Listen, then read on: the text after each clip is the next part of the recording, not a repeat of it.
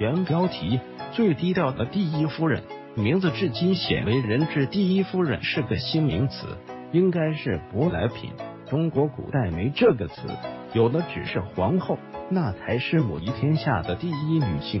随着西方文化的传播普及，外国首脑的夫人被尊为第一夫人的时事，逐渐为国人所接受。到了蒋中正时期，第一夫人的称谓才是见报端。建国后，历任领导的夫人也是各有特色，他们大多是默默无闻的支持者。其中最低调的，应该是今天我们要认识的这位女性。一九三一年二月，她出生于陕西省五台县，从小就参加儿童团，站岗放哨、送信。十一二岁担任儿童团的指导员。日本投降那年，她终于走出乡村。到晋中一中学习，那一年他刚刚十五岁。由于表现突出，当年十二月就加入了党组织。从晋中一中毕业后，被安排到任晋中一地委工作。正是在晋中一地委工作期间，他与当时的宣传部长相识、相知、相恋。于一九四八年十一月，两人结为伉俪。从而走上了一生相互陪伴的忠诚之旅。全国解放前夕，特地急需地方干部。一九四九年八月，她随丈夫一起随大军南下，到达湖南湘阴县。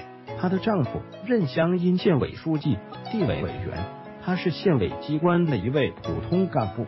一九五零年初，他们有了第一个儿子，后来连得一子两女。她一边工作，一边照顾孩子。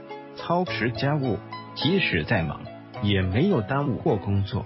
他们一家在湖南一待就是二十余年。丈夫的工作出由县委而地委，由地委而省委，整天忙得团团转。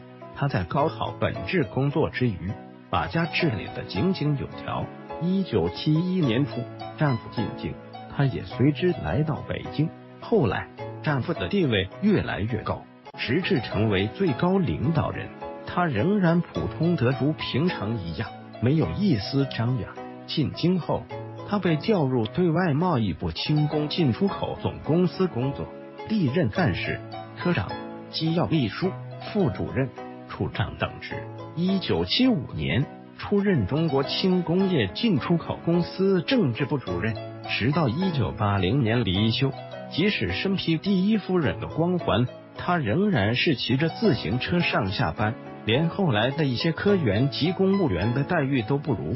从相关文章介绍看，在那个本应是风光无限的时期，她在大家眼里还是那个热心肠的韩姑或韩姨。在丈夫逐渐淡出政坛后，她也依然是人们眼中的韩姨或韩姑。请让我们记住她的名字韩志俊。她的另一个身份是华国锋同志的夫人。有人说她是新中国最失败的第一夫人，至今也没人记住她的名字。我想要说的是，好人一生低调，好人一生平安。图片来自网络，返回搜狐，查看更多责任编辑。